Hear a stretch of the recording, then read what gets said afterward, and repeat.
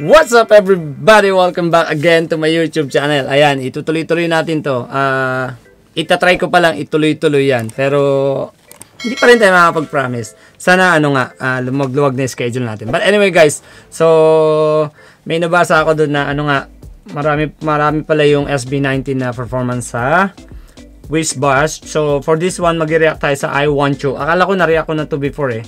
Actually, ito yata yung dapat i-react ko before bago ako mag-stop. Pero, 2 weeks ago, 2 weeks ago lang to eh. Pero parang marami ako nakita nito naglabas, parang mga video yata sa labas. So, nag-wait ako. Then, ngayon ko lang nalaman na ano, chinek ko nga nung may nag, nag, ano, nag-comment na about sa mga performance nila sa Wish Bash. So, let's go straight with this one. Here we go! Taray. Medyo bumabalik-balik na yung pag-intro ko. Matagal-tagal tayo nawala eh. So, let's go.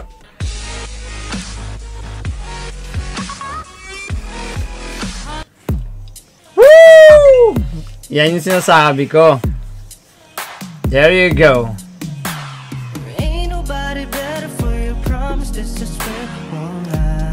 Woo! 1075. Yung setup ng upo nila laging ganun, ano? Woo!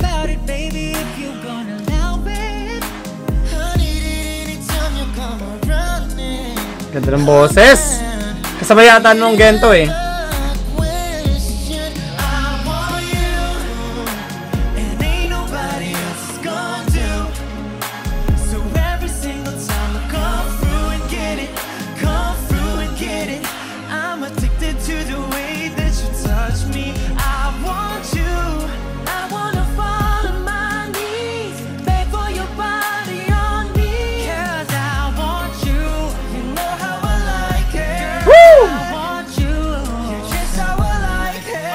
Here we go. Hmm. Ang linaw ng boses nila.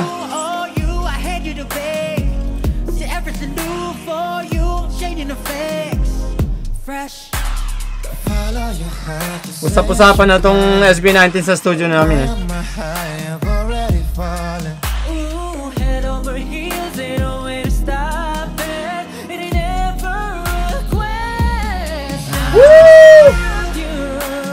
Galing! Sakit ng... Mm, si Diyos.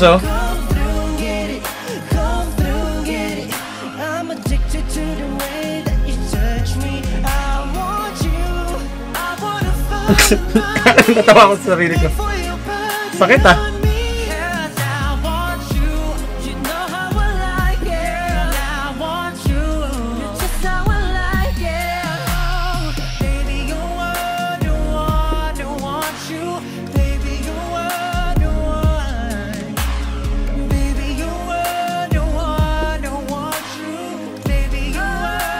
Let's go!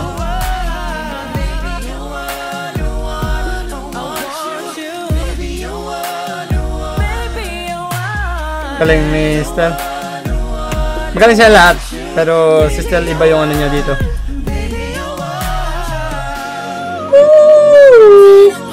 Hey, let's go Ken! Nagtutuklap na yung ano niya.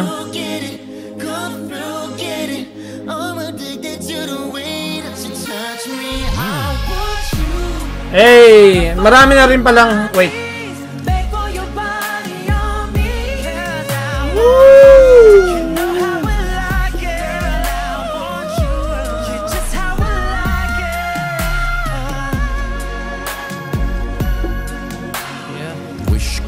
Hey, marami na pala lumabas na bagong P-pop group ngayon. Hey!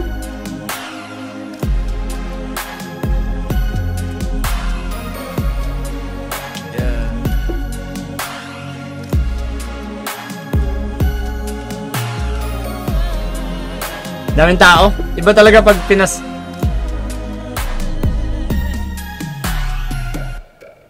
Hey, iba talaga SB19.